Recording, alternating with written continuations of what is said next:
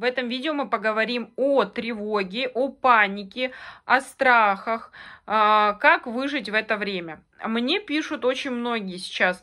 Алена, осветите, пожалуйста, видео. А, очень много вещей, которые идут а, вокруг, которые окружают и, соответственно, создают негативное эмоциональное состояние.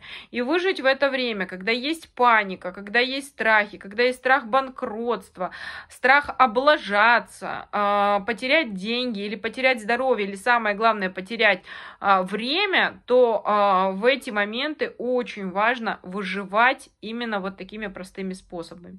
Первый способ – это заботиться ежедневно о своем здоровье. Несмотря ни на что, выбирать здоровую еду, двигаться, следить за сном и не следить за состоянием других людей. Не следить за новостями, не следить о том, какой вышел новый препарат, чтобы там что-то себе там удалить или увеличить. Не следить за новостями врачей, которые тоже говорят э, многие вещи, которые э, приводят к тревоге. Если вы знаете о себе, что вы, например, такой себе еще и невротик, то а, для вас это противопоказано делать, потому что это все а, создает дополнительное напряжение и создает эмоционально-деструктивные отношения с самим собой.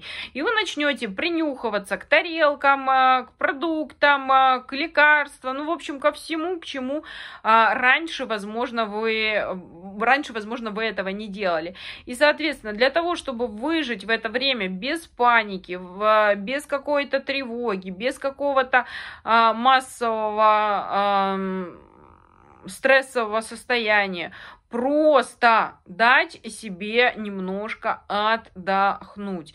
И такое тоже бывает. И в это сложное время очень важно выживать вот какими способами. Я, во-первых, чувствую свое тело, я забочусь о своем теле. Если мне плохо, я могу лечь в ванну. Если мне плохо, я могу на, себе накапать там ашваганду. Я, как, я шучу, как всегда, но это правда.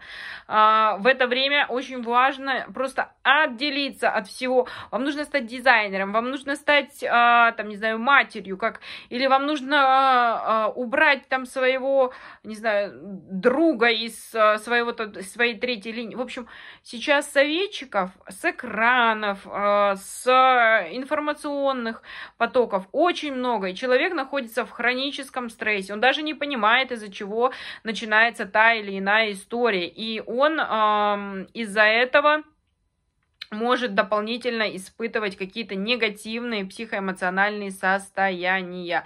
Соответственно, выживать в это время э, достаточно просто, если вы чувствуете себя, чувствуете свое тело, понимаете, что вам интересно, э, следите за новостями только, которые ведут вас к э, какому-то когнитивному и физическому здоровью, а все остальное отметаете.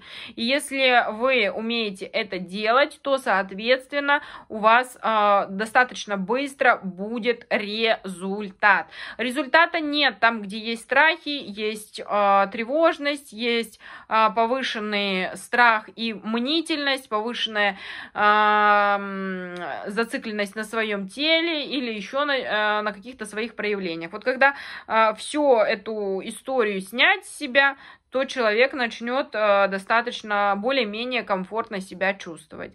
Пишите вопросы, вы на канале Натуропатии и медицинской психологии. Здесь про здоровье, ментальное и физическое. Соответственно, э, никакой... Э, внутренней тревоги не должно быть, потому что, потому что вы здесь должны релаксировать.